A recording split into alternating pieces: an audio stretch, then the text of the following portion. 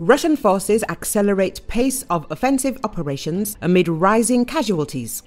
Experts at the Institute for the Study of War ISW have concluded that Russian troops are fast tracking offensive operations across the entire war zone in Ukraine while mitigating likely increased manpower and material losses. The ISW noted that Lieutenant General Kyrylo Budanov, head of defense intelligence of Ukraine, stated that Ukraine expects Russian offensive activities to step up in late spring and early summer. Late spring or early summer, we expect an increase in Russian offensive efforts, especially in Donbas. Budanov said. He explained that the Russians may try to scatter Ukrainian efforts on the front with mass attacks, but Ukraine is preparing for this. He characterized the current situation at the front as rather difficult but controlled because the Russians do nothing unpredictable. Ukraine's chief intelligence officer does not expect major changes on the front line until the Russian offensive begins. In addition, analysts pointed out that Ukrainian President Volodymyr Zelensky had previously stated that Russia's primary offensive efforts could begin in late May or June. The ISW has recently observed that Russian forces intensified the tempo of their offensive operations across the theatre, including by conducting a roughly reinforced, company sized mechanized assault toward Chasiv Yar on the 4th of April, and continues to assess that the Russian military appears to be successfully mitigating likely increased manpower and material losses Zelensky and senior Ukrainian military officials have recently cautioned that security assistance delays have caused Ukraine to cede the initiative on the battlefield to Russia and that the Ukrainian military cannot plan a successful counteroffensive or defense unless it is certain about when and what kind of aid Ukraine will obtain. The ISW continues to assess that delays in Western security assistance are forcing Ukraine's defense forces to make tough decisions about prioritizing certain defense aspects at the expense of countering the Russian military capability initiative or planning future counteroffensive operations as the ongoing debate in the US over military assistance rages on. Russian forces recently made confirmed advances near Avdiivka amid continued positional fighting along the entire line of contact.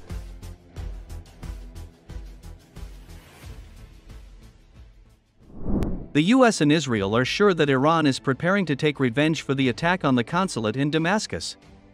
This was reported by CBS News.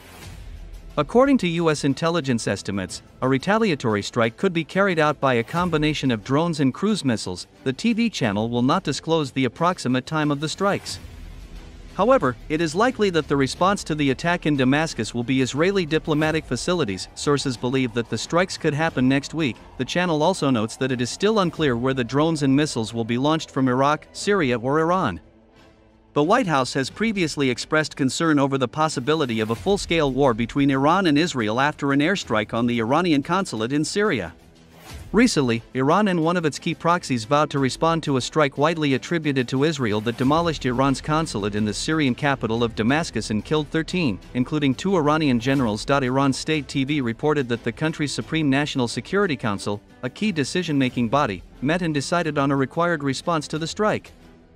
The report said the meeting was chaired by President Ebrahim Raisi, but provided no further details. The cowardly crime will not go unanswered, Raisi said on his office's website, according to Agence France Presse.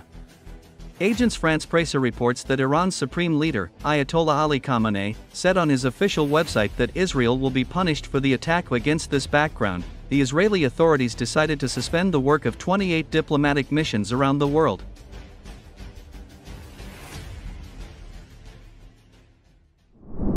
Russia ordered more ballistic missiles from Iran and North Korea, NATO claims. Russia has asked North Korea and Iran to supply more ballistic missiles to use against Ukraine, Reuters reported, citing an unnamed NATO official. According to the report, Tehran intends to respond to Moscow's request. Although the transfer has not happened yet, it will likely take place once the details of the deal are ironed out. Iran has declared its intent to do this and that it will send ballistic missiles to Russia, and we have no reason to believe it will not follow through, the source said. On February the 21st, Reuters reported, based on six sources, that Iran had sent a large shipment of ballistic missiles to Russia. According to three Iranian sources, Tehran provided Russia with Zolfaghar missiles capable of hitting targets from 300 to 700 kilometers away. The provision includes many from the Fateh 110 family of short range ballistic weapons, such as the Zolfaghar, three Iranian sources said.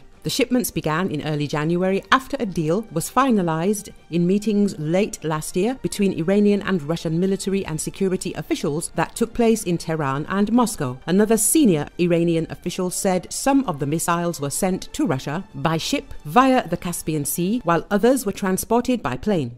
North Korea has sent about 6,700 containers carrying millions of munitions to Russia since September in exchange for food as well as parts and raw materials for weapons manufacturing, according to officials. South Korean Defense Minister Shin Won-sik told reporters that the containers might carry more than 3 million 152mm artillery shells or 500,000 122mm rounds. Russia has used at least 20 North Korean ballistic missiles in attacks on Ukraine since last December, the Security Service of Ukraine said.